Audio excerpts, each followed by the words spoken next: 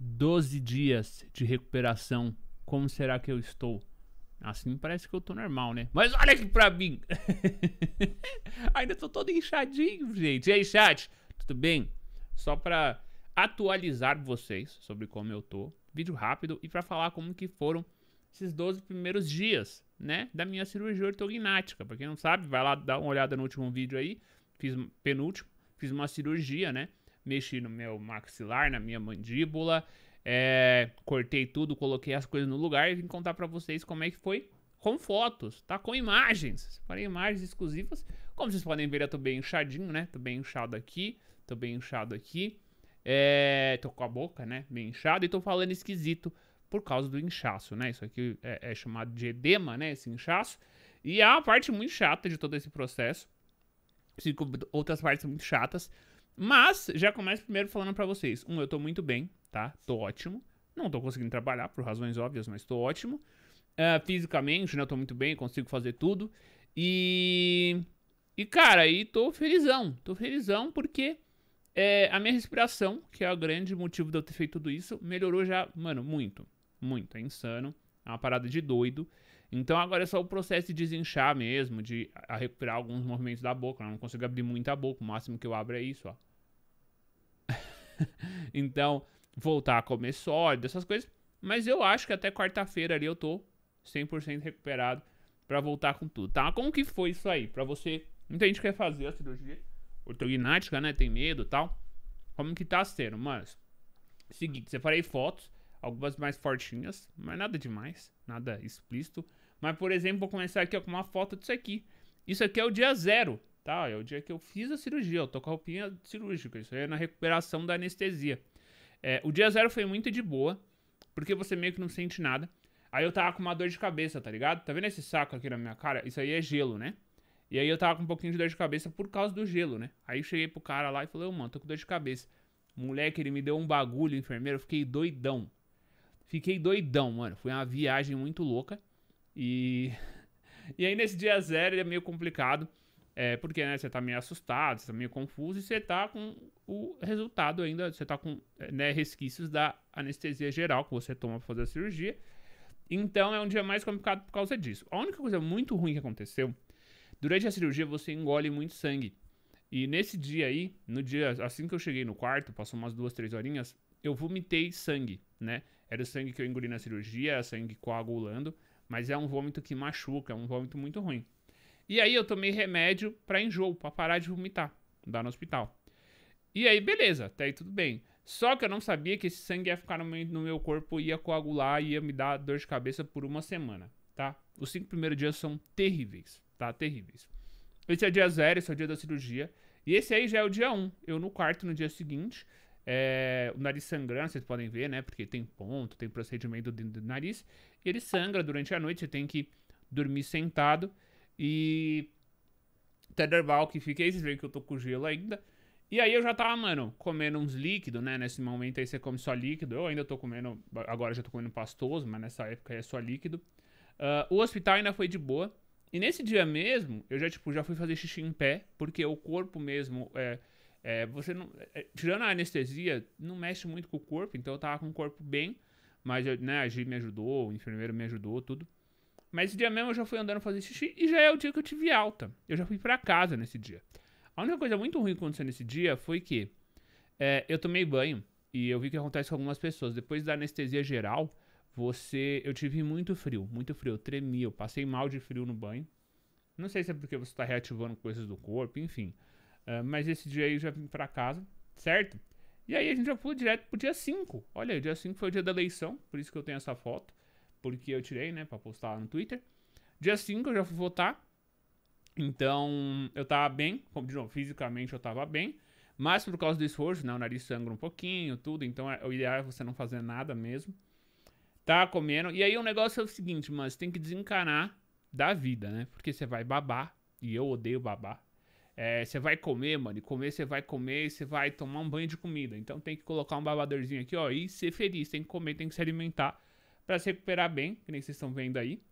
Uh, e aí a gente já vai pro dia 6, né? Que é um dia depois. Eu só tenho essa foto, porque eu também não tava tirando, mas eu andei pro, pro meu médico, né? Porque eu achei esse hematoma aqui, ó. Tá vendo, ó? Tem um, um hematoma no peito, ó. ó. Dá pra ver bem aqui, ó. Isso aqui é da cirurgia normal, só mandei foto pra ele pra ver se tava tudo bem. Ele falou que tava tudo bem, que era normal. Mas dá pra ver que o meu tava bem inchado, né? Ó o meu queixo, ó. Assim, ó. E eu não conseguia nem abrir a boca direito. Isso aí é, no, é na segunda. No dia 6. Eu esqueci só de comentar que na sexta, eu operei na terça, né? Então, na sexta seria quarta, dia 1, quinta, no, no terceiro dia eu já comecei a fonoterapia, que é fono com fisioterapia. Uh, e já voltei no médico. Já foi meu primeiro retorno. No terceiro dia depois da cirurgia, tá? Então eu já tava aí, é, eu já tinha ido no médico, então eu já tinha ido voltar, enfim. Aí agora é um saltão. Já vai direto pro dia 10. Uh, tá aí eu, sorrisão. Que eu tô aprendendo ainda, é difícil sorrir, tá? Que eu não sinto a boca. e tem eu de ladinho também aí, ó. Pra vocês verem um inchaço, né? Ó, como já tá também reduzindo, né? Já tá dando pra ver a linha ali do queixo, tudo, mas...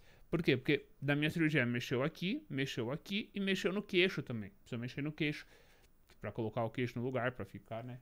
Simétrico, ó. Uhum. E aí tem o dia 11, que é ontem. Isso aí eu só coloquei essa foto primeiro que é ontem. Vai ter sorrisão. E eu tô com as faixinhas da fisioterapia, né?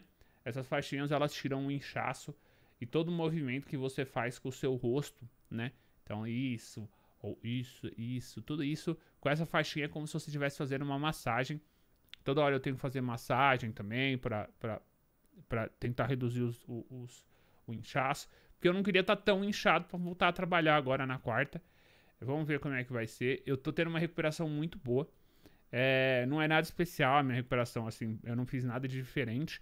Uh, mas o meu cirurgião é muito bom que é o Dr. Carlos Saiki, ele é muito foda. Ele é um dos melhores de São Paulo, um dos melhores do Brasil. Ele é muito, muito, muito bom.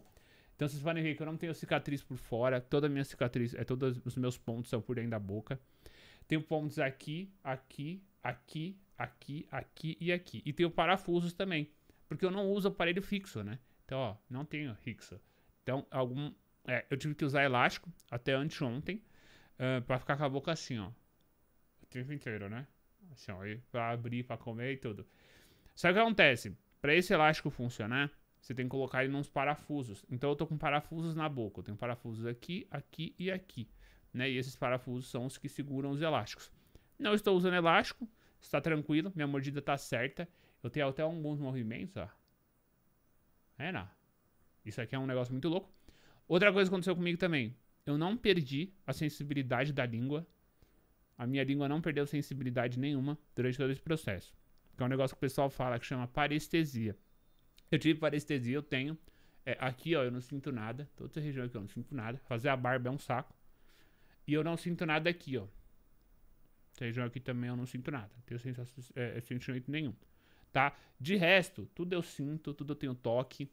Uh, eu tô desinchando, eu tô comendo, tô bebendo água.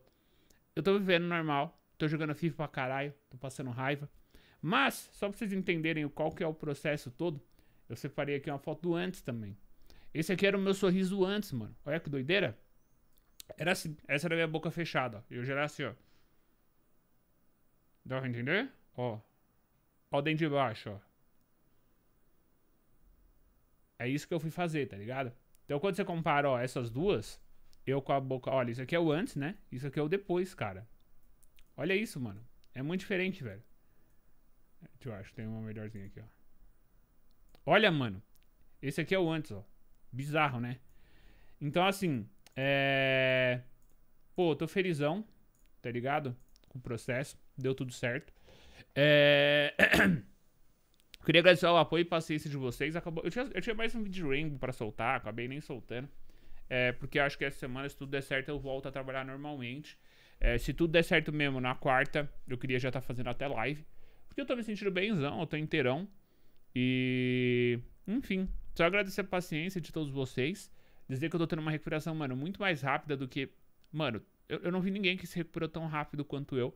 Até porque a minha cirurgia foi muito invasiva, mexeu muito. É, então, até nisso eu tive muita sorte. E não só sorte também, porque o médico é muito foda mesmo.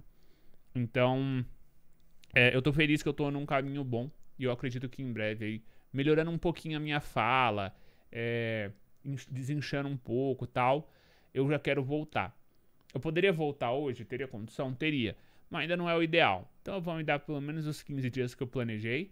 Uh, se até quarta não tiver muito bom, eu volto, eu aviso vocês. Eu tô sempre postando nas redes sociais alguma coisinha. E aí eu comento com vocês se eu consigo voltar ou não. Qualquer coisa a gente prolonga. Semana que vem estou de volta 100%. Tá bom? É isso. Obrigado de novo, vocês são incríveis. Nos vemos em breve. Se quer deixar o seu like, se inscrever. É nóis, tamo junto.